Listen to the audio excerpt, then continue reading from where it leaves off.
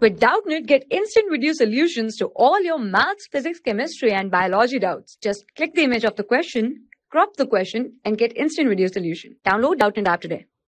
The question is find 10th term of the AP 1, 4, 7, 10. Now we have given that the series 1, 4, 7, 10 and so on. This belongs to an AP. Now if this belongs to an AP, so the first term is 1. The common difference will be the difference between the second term and the first term. So it will be 4 minus 1 that is 3 and we have to find the 10th term so n will be equal to 10. Now the general term of an AP is given by a n is equals to a plus n minus 1d.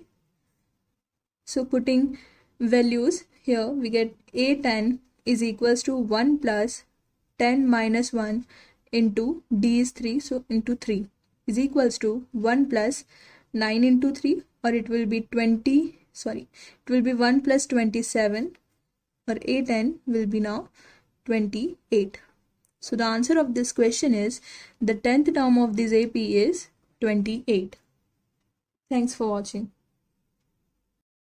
For class 6 to 12, IIT JEE and NEET level. Trusted by more than 5 crore students. Download Doubtnut app today.